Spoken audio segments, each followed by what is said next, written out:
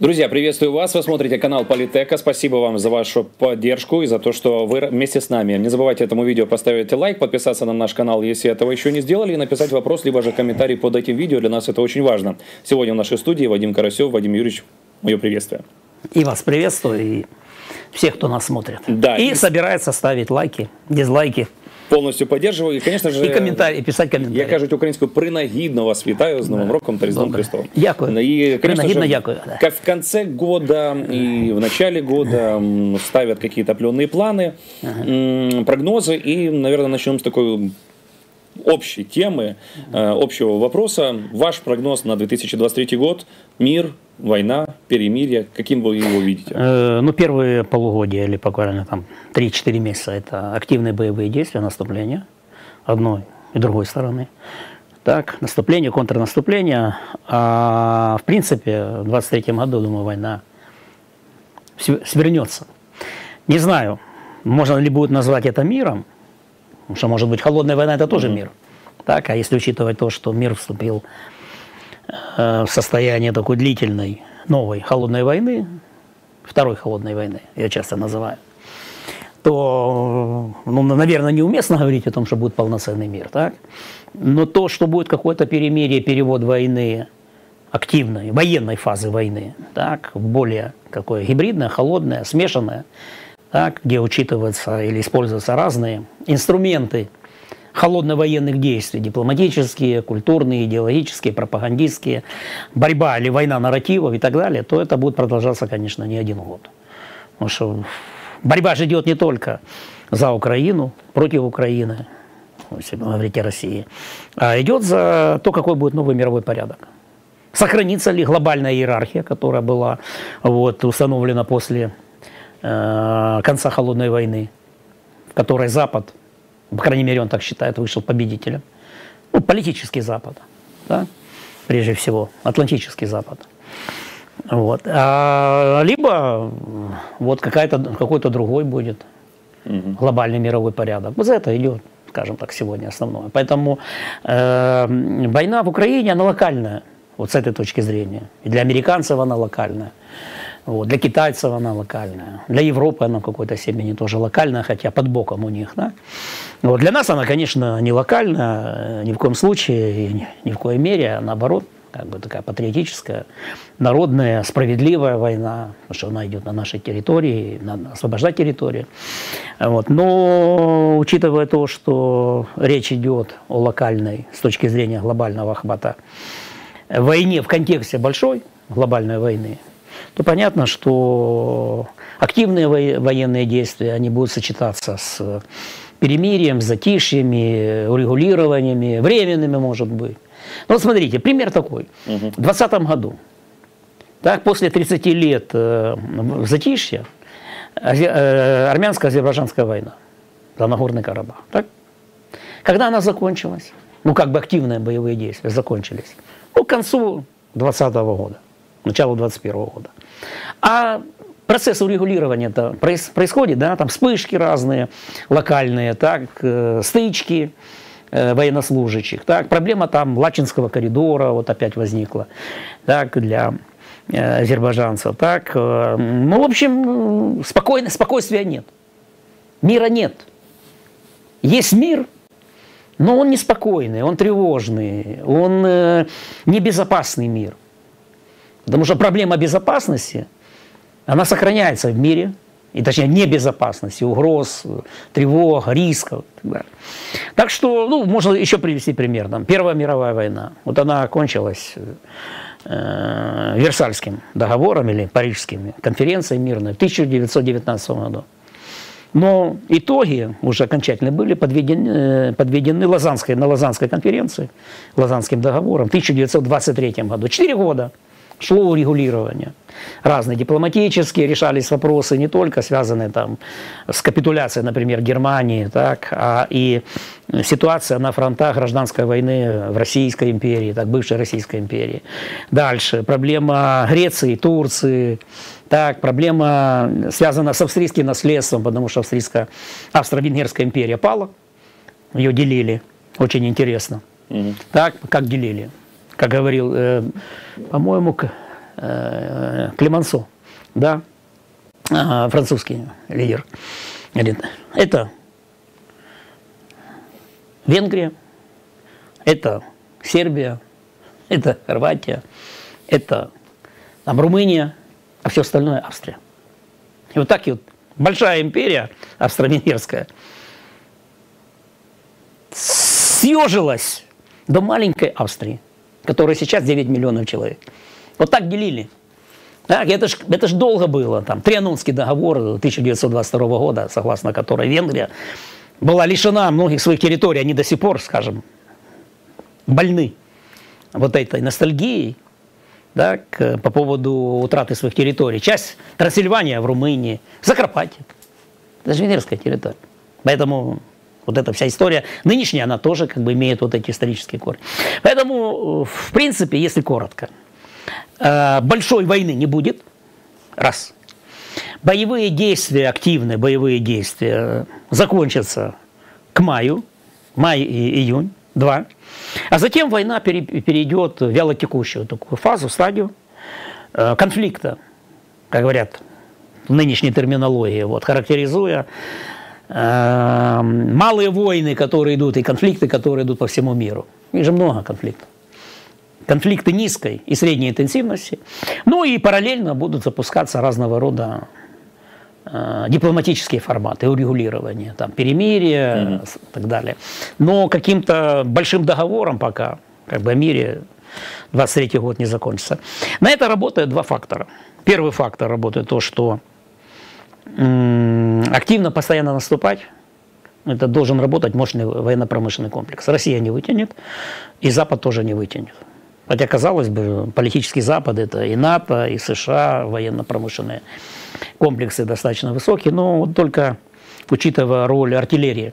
Вот посмотреть, значит, за 10 месяцев этого года, ну, начиная с, 2, с февраля и вот заканчивая 22 годом, было использовано примерно 7 миллионов снарядов разного рода калибров, миллиметровых, от 100 до 155. Ну, 100 начиная там минометы, так, такие, скажем уже, помощнее. И пушки, артиллерия 152 калибр, 153 калибр советский и 155 натовский калибр. 7 миллионов. А кто запасы такие держал? Что, готовились к артиллерийской войне? Готовились к войне, э, которая напоминает Первую мировую войну окопную? Никто же не готовился. Потому что готовились к войнам новым, технологическим. ВКС, космос, разведка, цифра – удары высокоточным оружием, уничтожение инфраструктуры, бомбардировки с воздуха, так называемая бестелесная война или бесконтактная война, чтобы меньше всего было жертв. Так, быстрый поход, все. Это такие в режиме спецопераций или гуманитарных вмешательств, или гуманитарных операций, или операций по принуждению к миру, или операции по вмешательству в те или иные конфликтные горячие точки для того, чтобы этот конфликт не разрастался на мировой порядок. Поэтому надо вмешаться, привести всех к порядку и ситуацию успокоить, устаканить, застабилизировать и так далее. А поэтому, не было, поэтому не было снарядов. Поэтому сейчас, вот допустим, расход. В день идет, вот сейчас, снижена интенсивность снарядной, снарядной войны, так, или артиллерийской войны, 20 тысяч, а раньше 60 тысяч. В лучшие времена, ну, в лучшие как бы дни, в день 60 тысяч расход снарядов. Разного рода калибров от 100 и 155, ну, с двух сторон. Сейчас 20 тысяч. Пока перена, это произойдет переналадка на э, новые рельсы военно-промышленного комплекса, ну не так просто. Не так просто. Отсюда, кстати говоря, ну так, чтобы эту тему тоже как бы закрыть, потом не возвращаться. Говорят о мобилизации. Вот надо новую мобилизацию, там, и вот будет новая мобилизация в России. Кто-то говорит, и в Украине нужна. А чем они воевать будут? Если нет э, техники, нет танков, нет артиллерийских орудий достаточно, снарядов нет. Орудия могут быть, а снарядов быть не может. Поэтому это все, скажем так, либо от незнания, либо провоцирование, неспокойствия и конфликтности в обществе. Потому что не все хотят идти воевать. Так, например, тоже России. Создавать внутреннюю напряженность, создавать, э, расшатывать устои политического режима. Но если с этой точки зрения, то логично.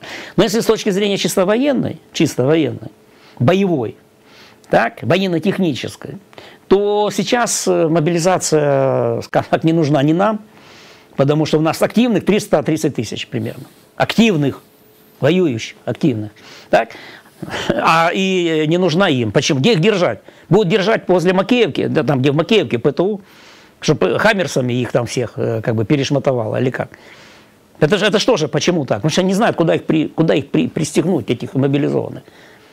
И где их разместить нормально, чтобы как бы разведка не выявила их, хотя не помню, сегодня, по-моему, пресса э, какая-то западная написала, что украинские военные используют мобильные телефоны, но через Starlink. Их очень трудно запеленговать. Угу. А у россиян нет такого.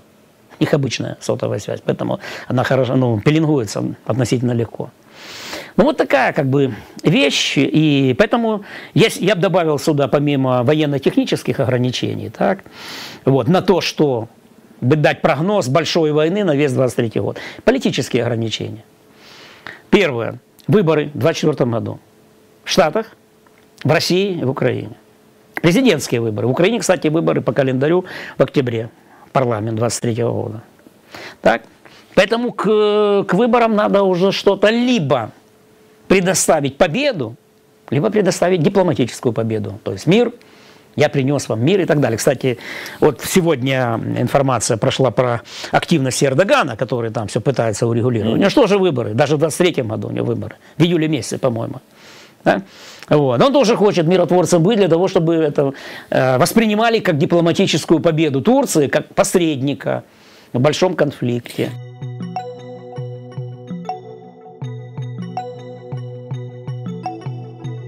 Кстати, к вашим словам, да. уже появлялась информация, что Эрдоган заявил, что допускает возможность переноса президентских выборов в Турции с июня на более ранний срок. Ну вот не верит, что перемирие может быть или окончание войны до лета 23 года. У него оппозиция там достаточно серьезная. Так, мэр Стамбула, и Мамаглы, по-моему, могу ошибиться, так, угу. вот, который там недавно осужден за какие-то высказывания, расчищает поляну Эрдоган. Так, а Э, почему? Потому что это оппозиция у него прозападная, она там так либеральная, западная позиция. А если поменяется власть, кстати, в экономике там не очень хорошие дела. Там инфляция, инфляция большая, да. да, большая, вот. То это как бы поменяет расклады вообще на Кавказе, в, Черном, э, в Черноморско-Кавказском э, регионе. Вот вообще как бы, если Турция опять станет Э, ну скажем, лояльно, ну, как бы сказать это все, э, перестанет играть вот эту свою особую самостоятельность так, в рамках НАТО. Ей позволяется, потому что позволяла и позволяла Эрдогану, потому что ну, Турция вторая армия в НАТО так, по боеспособности, во-вторых, она, ну, скажем так, форпост НАТО, Ближний Восток туда, ну, Кавказ, э, вот там, где э, Сирия, Иран тоже важный, ну, как бы не сказал бы, что сдерживание Ирана, но это важный фактор, так? Турция в НАТО рядом. И ну, исторические, скажем так, противоречия между турками и Ираном. Поэтому это интересная как бы история. Вот, э, вот если говорить о том, что готовится к президентским выборам. А вот американцам как? Вот сейчас мы знаем, Байден где-то в своей резиденции с советниками, они решают, должны решить, баллотироваться на второй срок или нет. А если баллотироваться, то с чем идти? Вот сейчас американцам, вот им как раз вот эта ситуация, она им достаточно скажем, комфортная. От чего? Они Россию ослабили, не дали ей взять Украину. Дальше. Эм, Россия увязла в Украине. Увязла. Так? Дальше. Третий. Экономическое санкционное ослабление. Вот чтобы мне там не говорили, мы видим, цена, цена на газ падает, цена на нефть падает. Понимаете? Это значит, надо сокращать добычу для того, чтобы цены вышли на, это, на более приемлемый уровень. И в НАТО вступили Финляндия и Швеция, а это важный посыл на Арктику. Это государства приарктические. Борьба за Арктику, она через 10 лет, она может, сейчас уже идет, но она скрытая. Так? Вот, взяли, консолидировали западные страны. Энергетику, энергетические потоки полностью переориентировали, почти полностью переориентировали на США. Где сейчас жиженый газ покупают европейцы? Американцы. Угу. Американцы Ну, по стали- завышенной цене. Да, они э, экспортируют. Дальше. Предприятия уходят э, из Европы и перемещаются, значит, инвестиции, технологии в США. Поэтому США сейчас, они выиграли вот из этой фазы, вот до сегодняшней, они выиграли. Стоит ли им рисковать большой войной для того, чтобы сорваться в непрогнозируемую, неуправляемую, неконтролированную эскалацию войны с перспективой получить третью ядерную войну, где полностью можно все проиграть. Может быть, надо работать в ситуации, скажем так, стратегии не макси-максимальной, а мини-максимальной. Мини-максимально. Мини-максимальной, да. Вот, вот на этом взять и все. А дальше уже как бы работать другими формами. формами форма холодной войны или холодного сдерживания. Создание безопасности э, на европейском континенте. Не сдерживание России. Сдерживание ну, 2.0. Как когда-то автор Кеннон, бывший э, посол э, э, США в, Советском Союзе в 1945 году или в 1947 году, вот эту большую, так называемая большая телеграмма, так, э, американскому руководству, президенту Трумэну по поводу э, стратегии доктрины сдерживания Советского Союза в годы Холодной войны. Вот сейчас сдерживание, новое сдерживание России, не победа над ней, а сдерживание, так, ослабление и сдерживание. Это выгодно, потому что Россия остается врагом.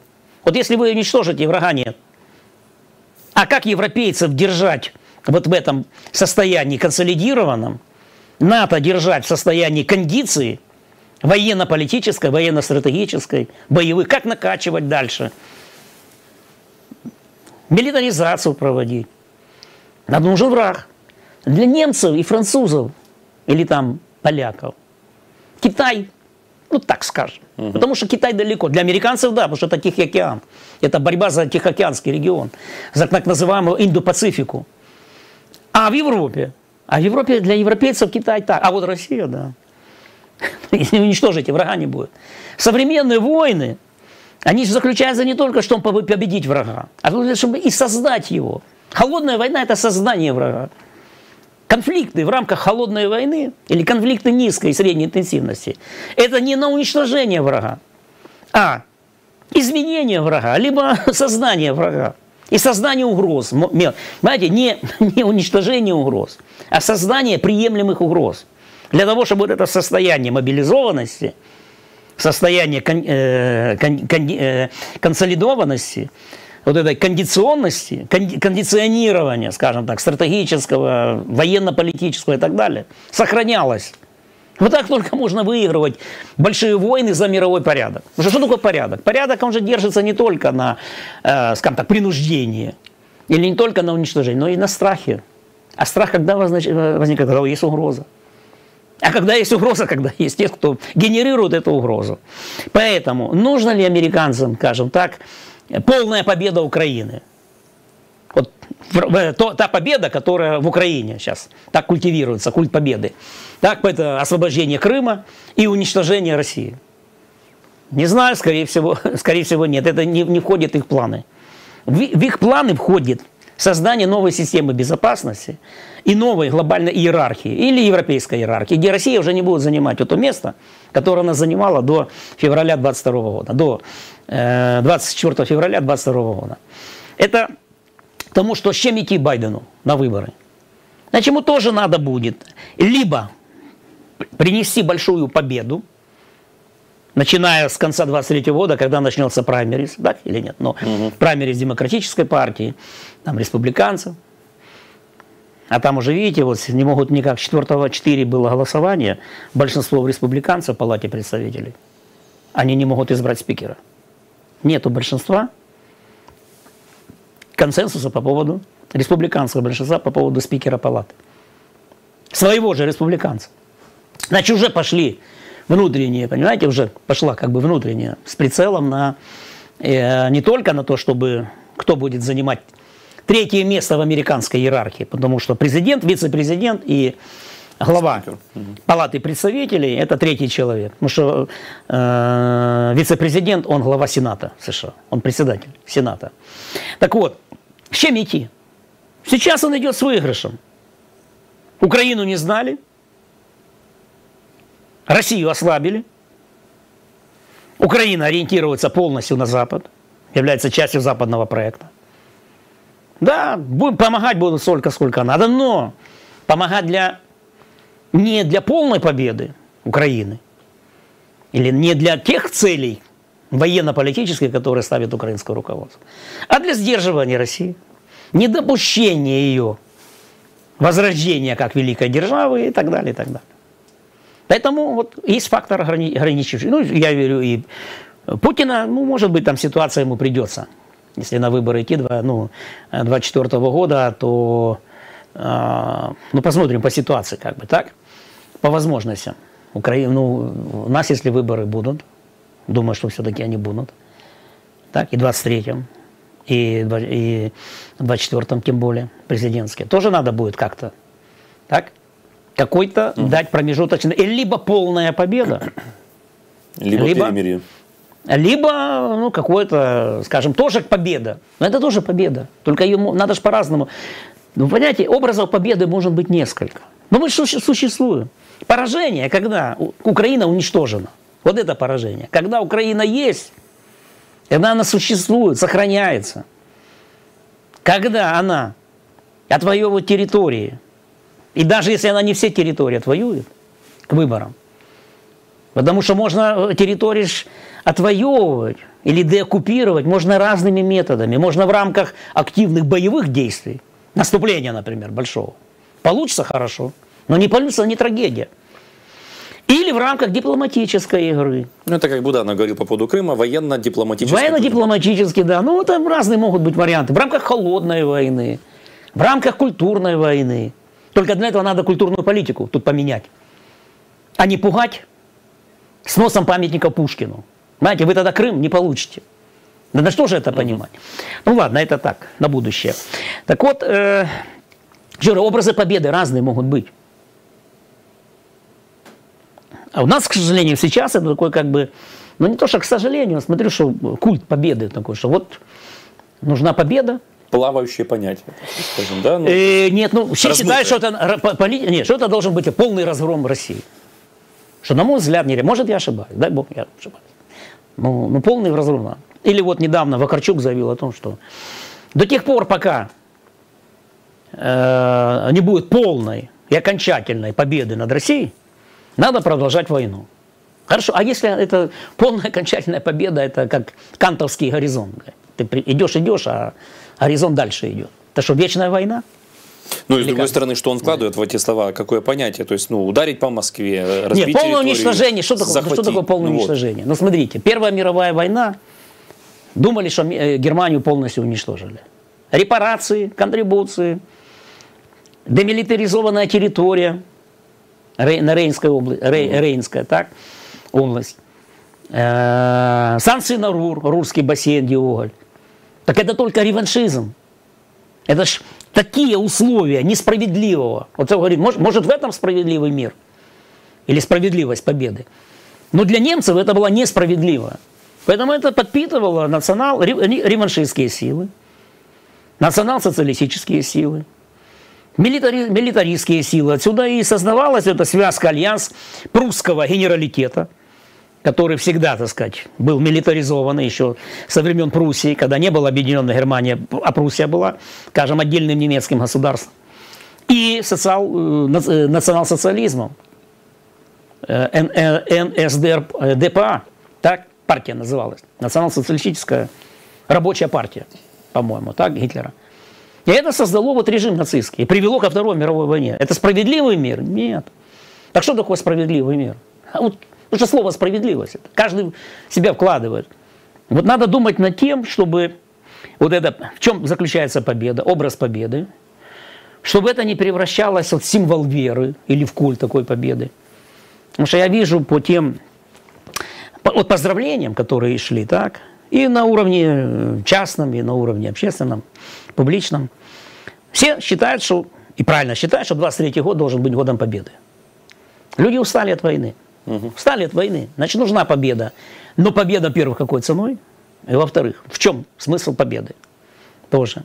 Дадут ли нам эту победу э, добыть, например, наши западные партнеры? Они дадут нам технику соответствующую? Дадут танки или самолеты? Ну, например, так ставлю. И, нуж, и нужна им ли эта победа? Полное окончательное уничтожение России. И во-вторых, нужно ли рассматривать победу как э, сейчас э, мессианскую победу, вот окончательную, полную, знаете, мессийность такая. Вот все. Так в революциях ставили победу, большевики так ставили победу во всемирном масштабе. Так? Победа это все, полное уничтожение всего, что, скажем, э, уничтожение, а не принуждение, урегулирование, договор, договорность какая-то. Это очень важно. Почему? Потому что э, фактически у нас сегодня вот между властью и обществом неписанный, неформальный такой договор о победе.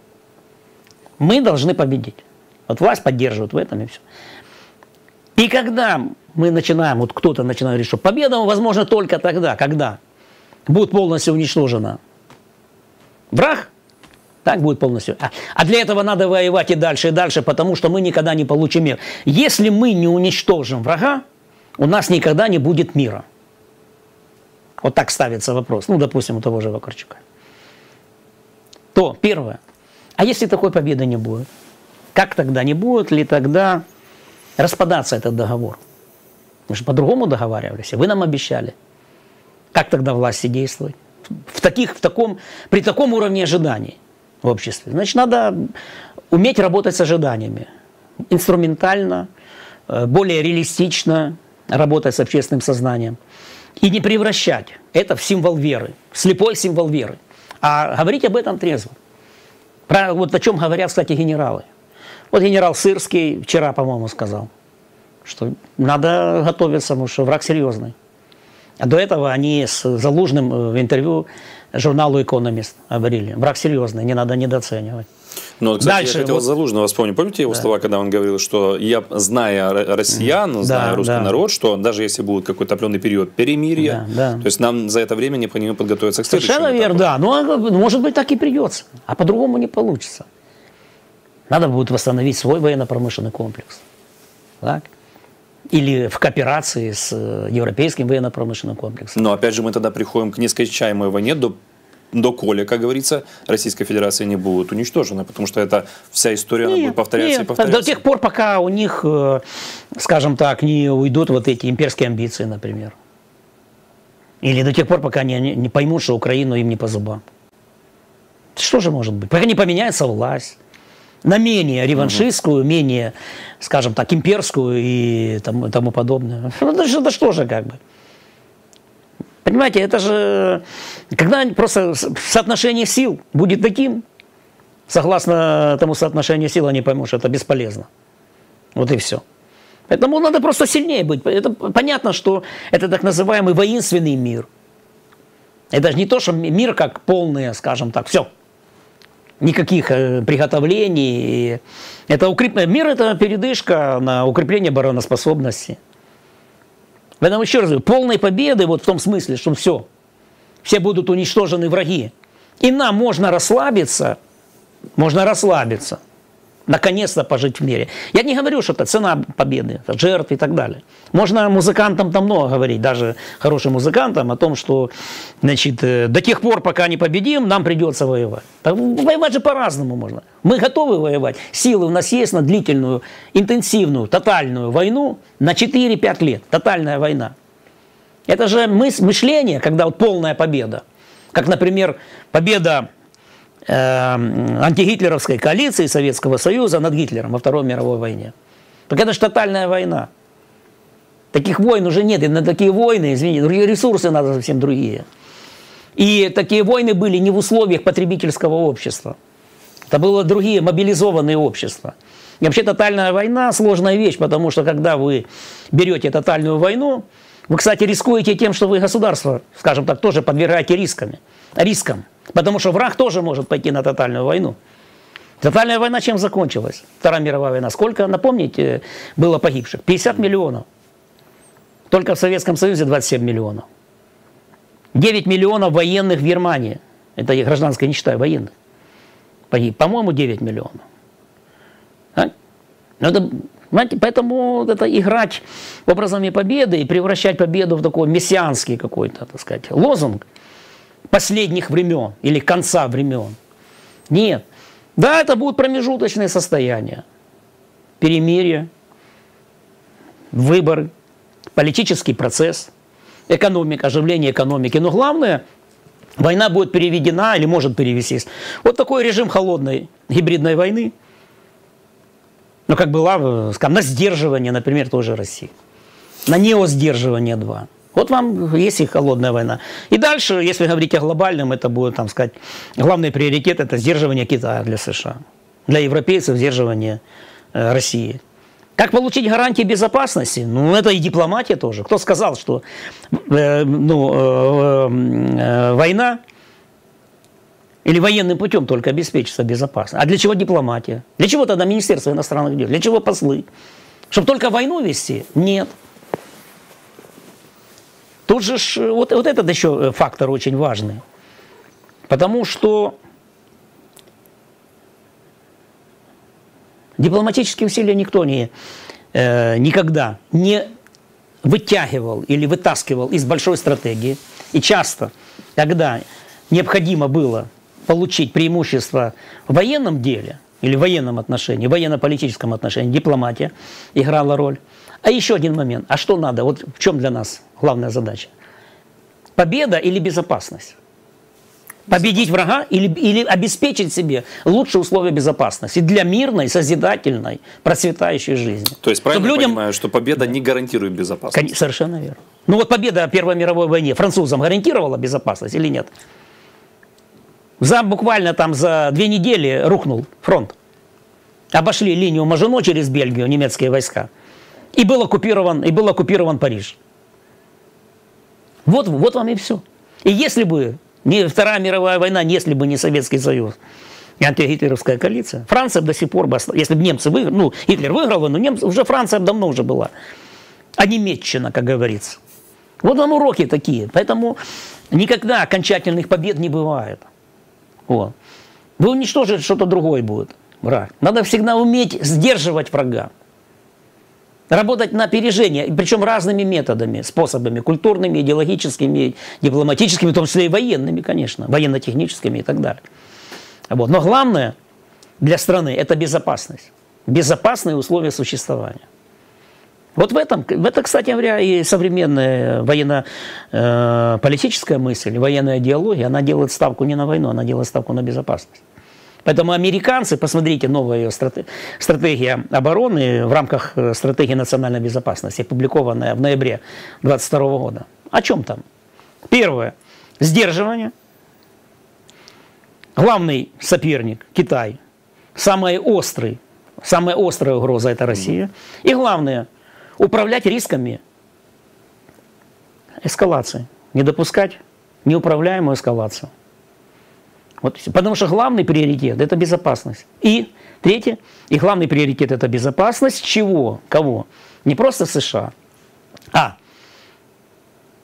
ради безопасности, ради сохранения либер, глобального либерального миропорядка. Или как в терминологии политического Запада, мира основана на правилах. Вот и все. Не уничтожение, а сдерживание. Так что надо, ну, кажется, в этих э, публицистических, скажем так, или обыденных уже, как бы, переведенных на обыденный язык, простых эмоциональных реакциях, я понимаю, допустим, Вакарчука, это эмоциональная реакция, эмоция музыканта. Но не надо им придавать политического значения, во-первых. Поменьше делать такого рода заявления, не разобравших в сути дела. А в конце концов, если ты хочешь вот, заниматься политикой, ну, должны быть советники, которые этому, скажем так, начинающему политику расскажут. А не пиарщики, для которых важно, чтобы прозвучало хайпово, чтобы это фух, круто прозвучало. Какой крутой, и в Фейсбуке там поднялась бы хайповая волна. Как круто. Да? Ну хватит уже. До этой хайповой крути, крутизны мы во многом, это тоже во многом результат вот то, что сегодня, это во многом результат вот этого не критического, исключительно эмоционального, такого подросткового отношения к серьезным проблемам войны и мира. Подростковость. Пора взрослеть. Пора становиться зрелыми. Я говорю и нации, и обществу, и, и властям, и обществу, конечно. Поскольку часто вот здесь эмоция возникает, она бурлит, а политики вместо того, чтобы эту эмоцию э, корректировать рациональным, прагматичным подходом, потому что на кону жизнь страны, экономика, жизнь людей, будущее ее, начинают только, скажем так, плестись в хвосте вот этой эмоциональной реакции, так называемый хвостизм, элит. Не провид, провидники, не ведущие, а хвостисты, хвосте вот этих эмоциональных реакций, потому что боится, что кто-то там в Фейсбуке какой-нибудь напишет какой-нибудь пост плохой или какое-нибудь видео напишет с ругательствами. Вот. Так что э, ситуация на 23 год, вот она выглядит примерно вот так. Я считаю, что в 23 году все. Война, войну, большую войну, такую по модели Первой мировой войны, угу. по модели Второй мировой войны, длилась 4 года, никто не готов. Не хотят. И будут стремиться к тому, чтобы эта война в 23 году она закончилась.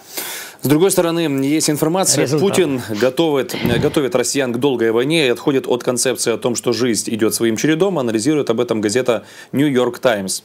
Кремль стремится подготовить военных и гражданских к длительным боям. Об этом свидетельствует последнее заявление Путина, а также необычайно быстрое признание российской властью потерь в Макеевке.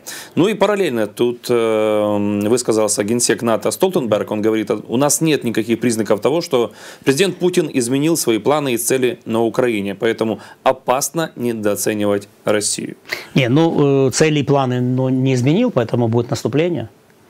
Так? Будет наступление, и э, эти цели и планы же не могут быть и не один год. Но это не значит, что будет действие. А силы где? А во-вторых, они не готовы на тотальную войну. Никто сегодня, в мире сегодня никто не готов на тотальную войну. Для того, чтобы общество воевали. Знаете? Что такое тотальная война? Это соединение государства и общества в войне. Это армия, общество и государство. Единое целое – Такие войны были в 20 столетии. Первая Вторая мировая война. Армии – это были подобие фабрик, скучение людей. Так? Что такое? На фабриках, заводы, конвейерные. И такие же армии большие строились. Так? Это вот сейчас, вот это так, э, то, что мы наблюдаем на фронте, на линии фронта на, на Донбассе, это исключительно вынужденный шаг – Потому что собирались-то специальную военную операцию делать. Операция по вмешательству в Украину. Завершилась ничем. Но это не значит, что они хотят они, и, и хотят эту большую тотальную войну. Потому что общество не примет это. Люди не хотят воевать. Если своя территория, то это да. Защита своей территории, это да. Общества другие сегодня. Это их надо вернуть на сто лет назад – так? На сто лет назад. Вернуть экономику на сто лет назад. Вот эти крупные фабричные эти. Вернуть военное дело на сто лет назад. А уже есть революция в военном деле. Это бесконтактные, бестелесные войны. Это воздушные войны. Это разведка. Это киберразведка. Поэтому вот это в 22 году так получилось, когда мы сдержали первое так вот этого, точнее, не дали осуществиться специальной военной операции, когда была асимметрия возможностей в пользу России, с помощью Рамштайна эту симметрию выправили оборонительно, прежде всего, оборонительно, так? Это с чего? Артиллерия в основном, артиллерия. Только то, артиллерийские в основном шли сюда, так? И ПВО потом пошло. И вот это превратилось в подобие такое. Первой мировой войны, окопной войны. Но никто не хочет в грязи больше воевать. Все, оно закончилось. Теперь почему все сейчас наступления хотят? Потому что второй год в такой войне никто не выдержит. В окопах опять. Чтобы брать Бахмут полгода брать. Ну, Буданов уже анонсировал да. Э, большое наступление Украины. Правильно, поэтому все будут сейчас наступление. Уже хотят перейти от Первой мировой войны ко Второй мировой войне. Потому что Первая мировая война была окопная, позиционная, стационарная. В грязи сидели годами. Ну, почитайте там э, Мария Ремарк там, или кинофильмы соответствующие, или другие. Так, ну, Ремарк на Западном фронте без перемен, там еще. Да? Все, это никто не будет, в 21 столетии никто не будет. Вот. Еще на один год продолжить вот эту окопную войну. Я говорю, что снарядов не хватит. Потому что наступать, на, если, как воевать, если не наступать? Ну, только снарядами бить. И потом пытаться там взять какой-то пятачок. Да, какую-то там, скажем, какую-то высотку небольшую. А Вторая мировая война, это уже война маневренная, это уже танки, самолеты, это наступление, это блицкриги. Наступление – это блицкриг. Там удары, ударные группировки и удары, которые там меняют стратегическую картину на поле боя, точнее так, оперативную картину на поле боя. А смотрите, даже война вот за год, стратегически ничего не поменялось, по большому счету. Угу. Театр военных действий как застыл, так и фактически стоит. Да, там что-то бодается, ЧВК, туда, сюда. Вот. Вот. А больших же прорывов, успехов э, нет. Они вот, э, Россия там, зацепили за то, что они еще смогли в первые дни захватить так на внезапности, на неожиданности. Вот. Мы сумели в Харькове, ну, под Харьковом, так, пока еще не было мобилизации, пока они в тупике не знали, что делать вообще с этим счастьем. Ну, это же понятно было, летом не знали, что делать.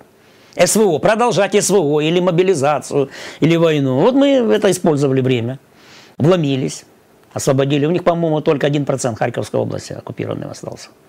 Так, все остальное, 99% уже украинское. Так? Ну, Херсон там, понятно, и все.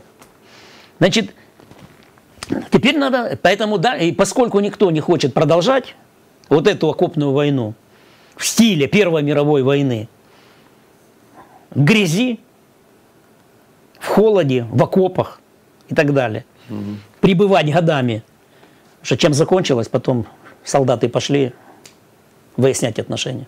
Они же братались, солдаты, на Первой мировой войне. Ну, сидишь вот там через 100 метров. Новый год встречали ходили друг другу пить, офицеров по боку. Разлагалась армия. Разлагалась армия. Так, и одна, и другая. Вот. И потом это привело к чему? Вот вам революция 17 -го года, февраль 17 -го года, 1900, и ноябрь в Германии. Все. Уже в 18 году, правда получили. Так вот, теперь, сейчас все планируют наступление. Путин планирует наступление. Говорил, по-моему, у вас, что он был, когда встречался со своими начальниками, с генералами своими, 15 часов пробыл в этом штабе специальной да, военной да. операции. Да, с каждым встретился, поговорил, намекает на то, что будет наступление. Вот, наверное, и Столтенберг именно об этом говорит. И мы будем наступать. А другого выхода нет. Теперь будет вот в начале этого года будет Вторая мировая война. Наступление и контрнаступление. Большие, моторизованные, при поддержке техники и так далее. Другое дело, что пока я не вижу, что нам хотят давать танки гусечные. Но Надо Франция танки. же заявила там о передаче опленных танков, поэтому посмотрим, каким образом. Какие? Ну подождите, ну что это за... Это колесные танки, да. Знаете, для чего их, э, почему они колесные? Потому что они для пустыни. Это для тех военных операций, которые проводит Франция, где? В зоне, своих, в зоне своего влияния, в, в, в Африке, угу. в пустыне. А Сахарской. у нас они загрузнут. А? У нас они загрузнут. Конечно, загрузнут. Ну, поэтому и дает. Вот, так, они же гусечные, зачем им гусечные, зачем им пустыни в Африке, гусечные танки? Поэтому у них военная промышленность работает на свои, ну, скажем так, театры военных действий. Мали, Чад, там где-то еще, где они участвовали, так, в этих операциях военных. Нам они дают, ну спасибо. Как говорится, дареному коню зубы не глядят, не заглядывают. В хозяйстве пригодится. Да, в хозяйстве при, при, пригодится. Но тут единственное, что, конечно, единственное, в чем позитив в этом. Не, не только в том, что это как бы, ну, мобильность увеличивает, потому что это все-таки, его же не случайно называют танками. Хотя это, ну, скорее не танки. Почему? Чтобы немцев, чтобы немцы дали леопарды. Сказали, ну, французы ждали, угу. а уже там колеса или гусеницы никто разбираться не будет. Но американцы сказали, что Абрамсы свои не дадут. Вадим Юрьевич, вы знаете, да. Э, в завершение нашего разговора я хотел бы очень кратко еще услышать от вас позицию, угу. потому что тут э, господин Гутерриш, он сказал такую фразу о том, что угу. он готов выступить посредником в переговорах э, в конфликте в Украине, если об этом попросят обе стороны. Э, ну, мы понимаем позицию и России, и Украины, в принципе, но какова, какой интерес Гутерриша, чего желает он добиться? Я же думаю, не только мира, есть какой-то политический здесь э, момент. Ну, давай, во-первых, вы сразу правильно сказали, что-то надо еще попросили. Пока никто просить не будет. Пока на несколько месяцев наступать, наступать и наступать. Что получится? Каждый верит в свою победу. Так, в этом наступлении которое, вот эти наступления, вот это, оно уже способно изменить стратегическую картину войны, стратегические расклады войны. Оно способно изменить. Угу. Это серьезная вещь. Так, мы должны быть готовы к этому. Поэтому никаких сейчас вот э, таких уразалихватских, ультра, таких оптимистических прогнозов, троллинга и так далее. Я понимаю, троллинг очень важную роль играет сегодня. Так? Троллить там через э, Твиттер и, и так далее. Выводить из равновесия врага. Но, в принципе, надо к этому отнести серьезно. Потому что именно вот эти наступления должны изменить стратегическую картину. А там посмотрим. А там уже действительно надо будет думать дальше. Или просто она застынет, эта война. Ну, война вот Ирана и Ирака. Восемь лет воевали. 500 тысяч погибших э, Иран – иранцев, которых утилизировали молодых резвых исламистов, чтобы они не внутри там продолжали революцию, а вынести вовне. Ну, Ирак. Американцы помогали Саддаму техникой, оружием, э, деньгами для того, чтобы Иран сдерживал. А, а, ослаблял Иран после иранской революции. Антиамериканская она же была. Она что была антиамериканской прежде всего. Так. Э, э, Хаменеи когда. Поэтому ну, это всегда революция, они всегда дальше продолжение имеют в войне, переводятся вовне. Вот. Но 300 тысяч иракцев погибло, 500 тысяч иранцев. И в 1988 году перестали воевать. Сил не было. Техники новой не было. А американцев уже были другие приоритеты. Уже менялся мир, перестройка, глобальное мышление и так далее. Советский Союз там выходил на планы. Вот. Тогда уже Саддам потом, который пошел, начал, после этой поддержки Соединенных Штатов Америки, начал на, на Кувейт там смотреть и захотел быть таким ближневосточным лидер, э, Гитлером. И тогда, вы помните, в 91 году, 90-91 году э, оккупировал Кувейт. И потом антисаддамская, то есть из союзника, ну, партнера в США превратился в врага. И помним первую бурю пустыни 91 года, антисаддамовская, антихусейновская коалиция, антииракская коалиция и так далее. Поменял. Ну вот так война тоже закончилась. Так она закончилась и все. В Корее как она закончилась? То же самое, Северная и Южная Корея. Все. Никакого мирного договора, никакого зафиксировано и все. Но я бы не хотел такие сценарии для нас. Ну, да. Так, но, но в принципе, как бы можно э, и сказать, что, может быть, и сил не будет воевать ни у кого. Мы же тоже должны понимать, что мы же воюем э, и за счет э, э, западного тыла, за счет военной техники, которую поставляют, боеприп, боеприпасов. А мы у них на о военном аутсорсинге живой силы. Тоже как бы для них важно. Но они же тут как бы... Потому что мы ведем свою войну, а Запад ведет еще и свою войну. Это тоже надо понимать. Я думаю, что мы прекрасно понимаем, поэтому мы, э, дипломаты наши, послы держат соответствующие государства для того, чтобы они помогали. Они только думали о своей войне, но и думали еще о нашей войне. Вот. Поэтому, может быть, э, э, уже во второй половине там начнутся какие-то так, э, реальные скажем так, разговоры о реальных усилиях по дипломатическому, скажем так. Но чего сказал Гутерриш? А надо возвращать авторитет ООН. Потому что вообще-то, когда начинаются такие конфликты, то роль ООН должна быть более серьезной. Как в осуждении, угу. так и в поисках примирения. А кто у нас вообще главный сегодня по примиренчеству? По усилиям урегулировать конфликт? Кто у нас сегодня главный? Эрдоган. Арабские Эмираты предлагают, Индия предлагает, Китай предлагает. А где он? Мы вообще-то за ООНовский порядок или мы списываем ООНовский или уставной международный порядок, который основывается на уставе ООН? Вот поэтому, кстати говоря, ООН прошляпила вот этот период, и, возможно, если бы более, э, с одной стороны, жестко, а с другой стороны, более прагматическая с точки зрения дипломатии позиция ООН и ее генерального секретаря Антония Гутиереша, бывшего премьер-министра Португалии, подчеркиваю, была бы очевидной и публичной, и более настойчивой, то, может быть, и война не затянулась бы так. Поэтому надо ООНовский порядок нужно восстанавливать. Ну да, нужно э, возвращать авторитет. Ну и хорошо, что проснулся. А то получается так, у нас Эрдоган, угу. миротворец, чуть ли не Бен Салман, миротворец Саудовская, ну, э, кронпринц Саудовской Аравии, Синзипин, Синзипин, кто там еще, а где он? Вот и все. Поэтому, мне кажется, с этим связано, что проснулся. Друзья, спасибо вам большое за внимание. И, конечно же, Вадим Юрьевич, вам огромное спасибо также за ваши ответы для нашего зрителя. Не забывайте спасибо. ставить лайки, подписываться на наш канал. И также не забывайте найти обязательно в Ютубе Вадим Юрьевич Карасев, его канал, подписаться. Также поставить лайки, друзья, поддержать нашу работу ради нашего зрителя. И, конечно же, написать вопрос, либо же комментарий. Берегите себя и до следующей встречи. Спасибо большое.